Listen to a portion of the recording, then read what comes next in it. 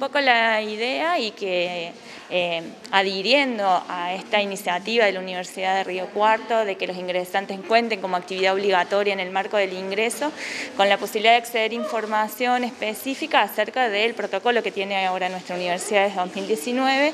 de eh, prevención, actuación, intervención ante situaciones de violencia por razones de género. Por eso nos hemos contactado, al igual que las otras facultades, con integrantes de la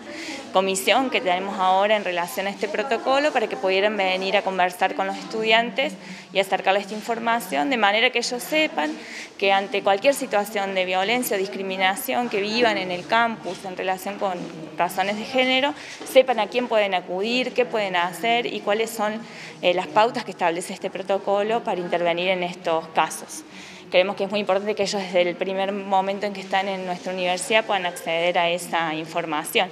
Y bueno, ahí también eh, intentamos que se acerquen desde la comisión nuestros, los representantes de nuestra facultad para que puedan estar compartiendo también desde adentro esta información y la actividad que lleva adelante la comisión. Y vemos muy buena participación de los chicos, tenemos un anfiteatro completo. Sí, tenemos el anfiteatro lleno, por suerte los chicos se sumaron, por ahí cuesta enganchar a los chicos en actividades que no son las específicas de sus carreras, pero bueno, el tema es convocante, es de interés y se han llegado alrededor de 180 estudiantes en la mañana. Y a las 5 de la tarde tenemos la actividad en otro horario para que tuvieran más posibilidades de, elegir y sobre todo porque tenemos muchas comisiones de, ingreso a la tarde en la facultad para que puedan asistir al cierre de la jornada. Y, además de este taller, la posibilidad, como decías, de una, la posibilidad de una consulta permanente con integrantes de la facultad y de la comisión también. van a poner ahora a disposición todos los canales de comunicación eh, para que ellos los tengan accesible y a mano para poder consultar, hacer cualquier tipo de consulta, con, transmitirles confianza de que la universidad está preparada para, con gente especializada que ha venido formándose y que cuenta con este protocolo que nos da esa garantía de actuación ante estas situaciones.